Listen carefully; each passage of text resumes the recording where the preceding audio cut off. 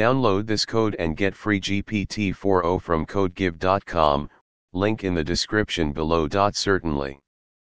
Unzipping files in Java can be accomplished using the java.utility zip package, which provides classes for reading and writing zip files. Below, I'll guide you through the process of unzipping a zip file in Java with a detailed explanation and a code example.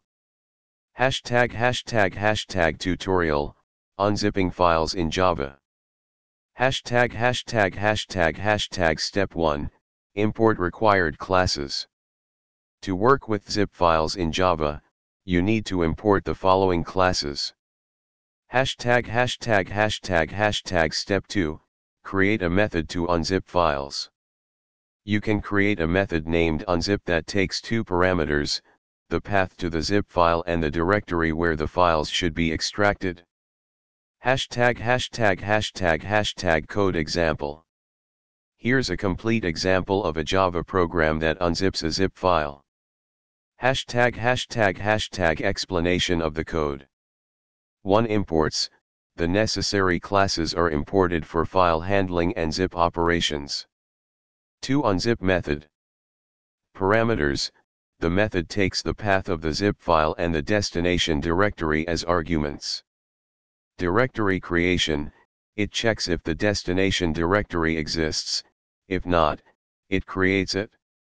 Reading the zip file, a zip input stream is created to read the zip file.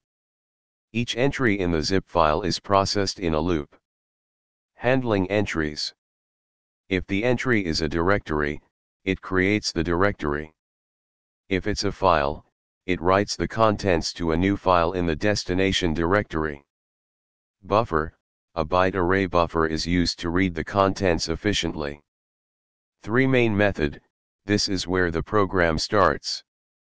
The paths for the zip file and the extraction directory are specified, and the unzip method is called. Hashtag hashtag hashtag running the code. 1. Replace the zip file path and desc.dir in the main method with the actual paths you want to use. 2. Compile and run the program it will extract the contents of the specified zip file into the designated directory. Hashtag hashtag hashtag conclusion. This tutorial provides a straightforward method to unzip files using Java. You can further enhance the example by adding error handling or additional features, such as progress monitoring or handling nested zip files.